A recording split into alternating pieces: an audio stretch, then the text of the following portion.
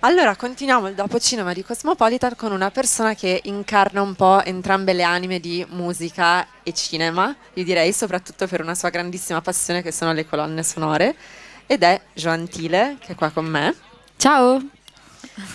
e che peraltro è eh, reduce non molto tempo fa dalla vittoria del David di Donatello per Proiettili, per Ti mangio il cuore scritta, prodotta. Mi ricordo che me l'avevi raccontato durante un'intervista per Cosmo che avevate ultimato la canzone nello studio di Elisa, quindi chi meglio di te da avere qua in questo momento? Grazie, per me è un piacere essere qui, tra l'altro super last minute, eh, questa cosa mi è piaciuta molto.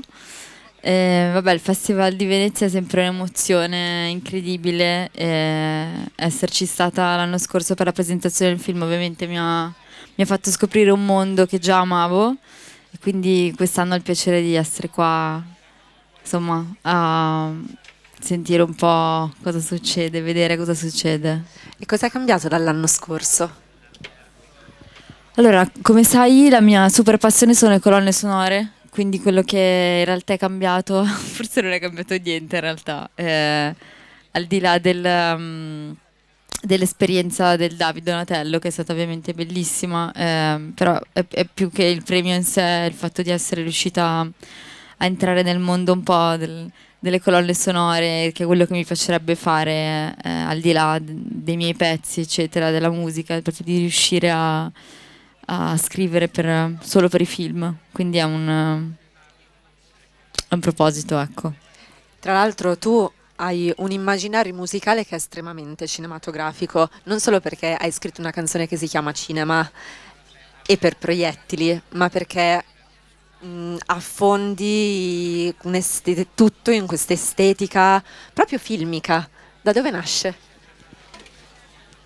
Allora, tutto nasce per una mia grande passione che è Piero Umiliani che, che tu conosci, eh, non so se appunto qui Beh, l'avranno sentito sicuramente perché abbiamo appunto le musiche di Cam Sugar esatto. e oggi hanno trasmesso Piero Umiliani tutto esatto, il giorno. fantastico. Vabbè, non è chiaramente, non nasce solo da Piero Umiliani, in generale proprio dalla colonna sonora che ehm, mi ha mi ha cambiato un po' il punto di vista sulla musica in generale perché da quando ho scoperto appunto Umiliani, Piccioni, vabbè ovviamente Morricone eccetera, però soprattutto Umiliani, Piccioni ho, ho iniziato ad appassionarmi di cinema. Quindi, quindi, è stata la colonna sonora a portarmi verso il cinema, quindi senza, effettiva, senza, effettivamente magari inizialmente conoscere tantissimi film quando ero ragazzina, però ascoltavo queste musiche e impazzivo, dicevo wow. E da lì poi ovviamente mi ho iniziato ad appassionarmi al cinema e, e a trasportare un po' quello che era l'immaginario del cinema nella musica. Ma c'è un film poi in particolare che ti ha dato là per appassionarti anche alla parte più visiva? Allora, un film per me di super ispirazione, La ragazza con la, la, ragazza con la pistola di Monicelli, che per me è visivamente Monica Vitti, quel Monica film Vitti. È, è proprio è un'ispirazione anche proprio di look, sì, secondo esatto. me, no? Mega estetica, bellissima. Estetica con questi vestiti neri, siciliana, questi capelli che poi ho, ho scoperto tramite un'intervista che la parrucca era al contrario. Cioè praticamente è stato un errore. Eh, è stato un errore il, il suo look. No, perché pazzesco. pare avesse. Questo me l'ha raccontato un giornalista in realtà. Questa storia, quindi non voglio appropriarmene, me l'ha raccontata lui, ma che la parrucca era in un determinato modo perché ehm, non so se chi si occupava delle parrucche aveva lasciato poco prima il film, quindi lei l'hanno messa a caso ed è diventato un look secondo me iconico, quindi a volte dall'errore anche... Ti nasce tutta la bellezza. Sì, sì. E invece se ti chiedo il primo ricordo che hai legato al cinema, adesso parlavamo di film, e proprio il primo ricordo che hai, il primo film che hai visto quando eri piccola? Prima parlavamo appunto, c'era Giulia Valentina e mi diceva che il primo film visto era L'odio con Vincent Cassel e le ho detto che per la mia generazione di solito è Il principe d'Egitto. Eh, volevo sapere il tuo Guarda, non lo so, in sola. realtà non lo so, cioè non lo so qual è stato il primo film, sai? perché poi non è che il primo film... Oddio, sai che... Sai Difficilissimo. che è una domanda difficile questa? Vabbè, ci sono diversi cult, eh, tipo... Puoi mentire, puoi No. mentire. Se no un altro facile da dire. Titanic. Il Titanic, ok, Esatto. il Titanic ovviamente. Era lui. Tu ieri hai visto Poor Things, ne parlavamo prima, per cui hai fatto il red carpet, che è un film eh, distopico, steampunk, onirico.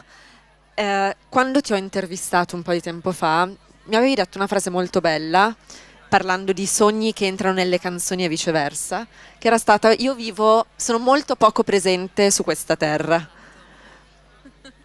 Spiegalo. Allora sì, mh, detto questa frase in maniera estremamente sincera, a volte mi sento poco presente e poi per questo uno decide anche di andare dallo psicologo, no? In generale, quindi, scherzi a parte, però ehm, ovviamente il cinema rappresenta un po' anche tutto questo, questo immaginario di non presenza perché ti permette poi di, di poter viaggiare molto con la mente, di poter sognare, di poter entrare in diversi mondi. Ed è un po' la sensazione che mi ha dato il film di ieri, che è Poor Things, che hai visto anche tu, incredibile. Cioè sono rimasta veramente scioccata dal film di ieri. Incredibile, per chi non l'ha ancora visto, si tratta di una storia, questa sorta di Frankenstein al femminile, come l'hanno definito tutti, che è quasi però a metà tra un trattato femminista e un, eh, ieri dicevamo, un videogioco steampunk, Sì, Steampunk 800, tipo. perché come mm, in questo momento Esatto. meraviglioso, Incredibili. estremamente in linea con quello che stiamo Esatto. dicendo. Sì. No, esteticamente era tantissimo tempo, vabbè, al di là, eh, sì, partiamo dall'estetica. Un film che a livello estetico mi ha molto colpito perché, come dici tu, è tra lo steampunk 800, eh, appunto riferimenti, secondo me, eh, che ricordano appunto, come dicevamo, eh, un po' Bosch, eh, quadri fiamminghi e allo stesso tempo magari eh, La città delle donne di Fellini, ci, ci sono proprio degli elementi dell'assurdo, eh, però oscuro, quindi non è un assurdo che in qualche modo ti dà serenità. Però quel, quel tipo di estetica poi unito a, a dei valori, a dei racconti come quelli del... in un periodo poi così fragile come questo, eh, in cui si discute molto sul femminile, sulla violenza, su, su tanti aspetti, un film come quello di ieri, appunto, Poor Things, va proprio a toccare in maniera più, diciamo, Precisa. precisa e neanche polite, eh, che mi è anche piaciuto in realtà, perché è anche scomodo in qualche modo. E questa cosa ogni tanto ci vuole, cioè anche sempre essere, raccontare le cose in maniera sempre iper... È giusto a volte ogni tanto raccontarle in un modo più forte, ecco. Visto che stai parlando di raccontare le cose in modo forte, soprattutto riuscire a raccontare la fragilità in modo così forte, che in Poor Things parliamo di grottesco, è una cosa che applichi nella tua musica? Eh, in realtà sono sempre stata abbastanza mm, delicata, eh, ma era un- forse una delicatezza derivata un po' dalla paura di a volte raccontare le cose. E recentemente sono un po' dell'idea che, che forse le cose vanno raccontate in maniera un po' più istintiva. E quindi sono in una fase della mia vita in cui sto cercando di, di raccontare tutto in maniera più istintiva.